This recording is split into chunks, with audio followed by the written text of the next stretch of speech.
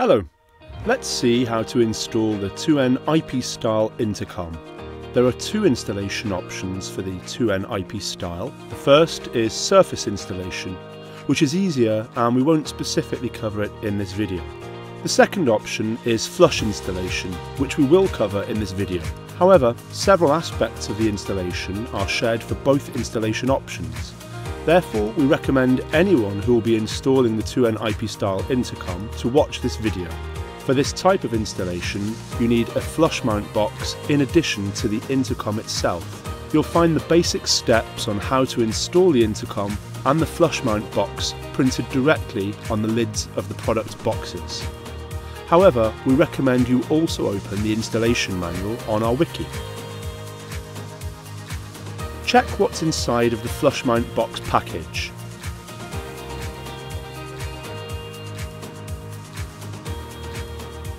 And this is the content of the IP style package.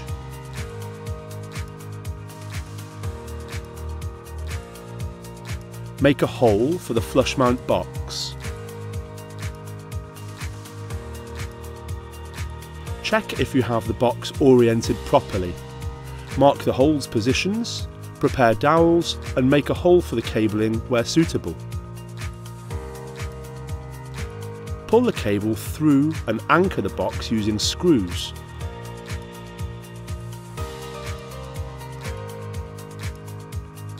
Insert the enclosed detents in the riveting nuts and fit it with screws. Do the same for the bottom detent embedding.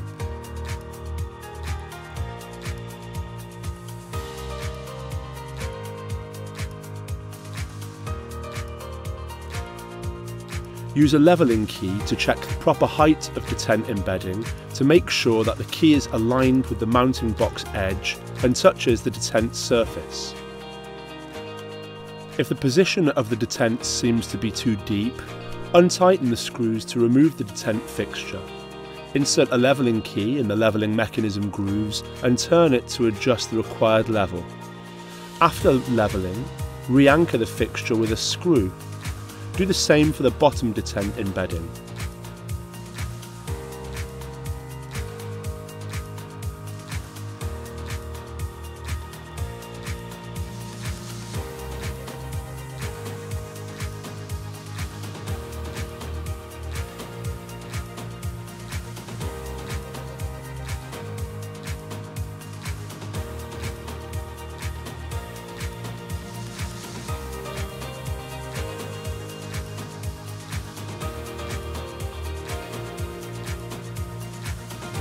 Put the brackets to the left and right sides of the bottom detent handle and fit their positions using screws.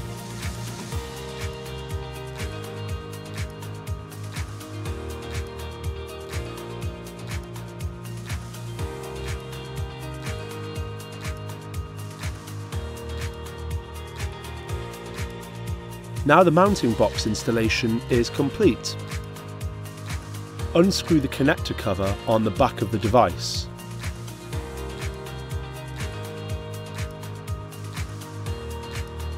Thread all of the unterminated cables through the bushing on the inside of the connector cover.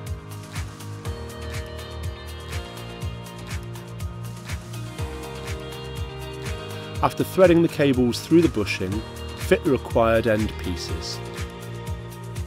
Fit the profiles on the device back onto the mounting bracket and slide them down to the lowest possible position, anchoring the device by snapping it into place.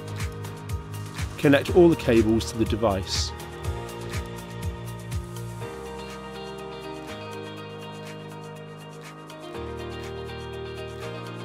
Screw the connector cover back on the mounting bracket provides sufficient support for cable installation and so it's unnecessary to support the device in any way.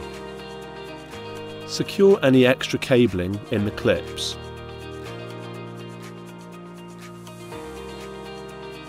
Fold in the device towards the flush mounting box and then press downwards to seal the installation. Lock the position by tightening the two screws inside the device using the Allen key. Thanks for watching and I wish you a pleasant experience with 2N products.